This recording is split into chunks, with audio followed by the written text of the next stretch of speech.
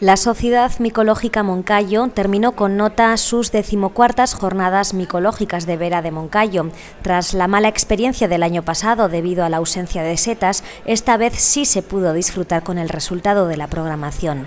La mejor recompensa para el esfuerzo de los preparativos fueron la variedad y cantidad de setas, con más de 90 especies catalogadas, y la afluencia de gente a la degustación micológica de este domingo. Sí, este año hemos disfrutado mucho, la verdad porque llevábamos dos años, el pasado y el antepasado, que verdaderamente era un problema encontrar una seta o dos. O sea, era, era horroroso. Y ni que fuéramos a otros territorios distintos al Moncayo, no encontrabas nada, porque no había llovido en ningún sitio.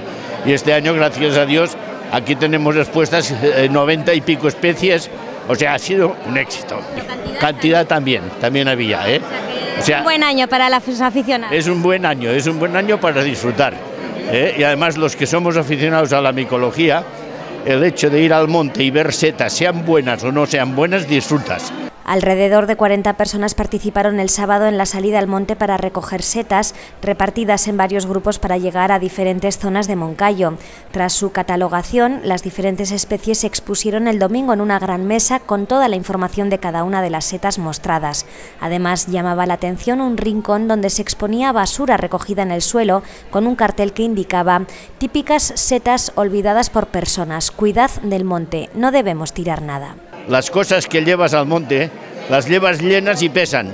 Cuando te las has comido o bebido no pesan, es más fácil llevárselas a casa, pero no hay forma, ¿eh? La buena acogida de las jornadas continuó con la degustación, con una larga fila para recoger la tapa micológica preparada por el restaurante El Choco de Zaragoza. hemos preparado una, una, un crujiente de boletus eh, se trata de hacer el boletus, le añadimos un poco de carne y luego lleva pues confeccionado con una bechamel, lo metemos en una pasta filo, ahora se fríe y se sirve con una salsa de boletus ¿eh? y pimienta verde.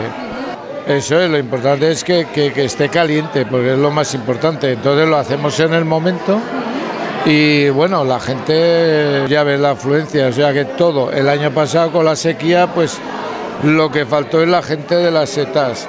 La de la comida, de la tapa, no faltó ninguno. Pero este año se ha juntado todo, se ha juntado la tapa con las setas y ha sido una mañana fabulosa.